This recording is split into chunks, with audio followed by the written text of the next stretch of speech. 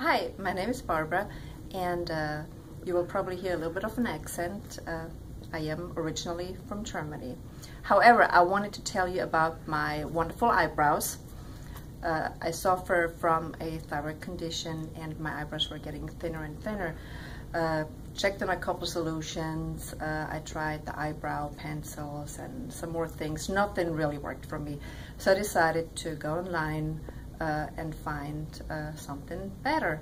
I came across Anna Burns and uh, I did some more research and it was about eyebrow tattooing. I was intrigued, of course, uh, didn't know much about it and made an appointment. After talking to Anna for a little bit, I found out that she started out as a tattoo artist.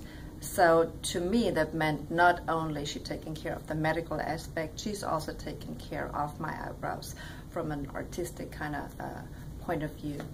Uh, at this point, I was sold. Uh, the procedure was quick and easy. Uh, healing time, no problem at all. A little bit of a touch-up, and as you can tell, uh, I'm extremely happy with my wonderful uh, and natural looking eyebrows. Uh, thank you very much, and I hope you have the chance to work uh, with Anna in the near future. Thank you.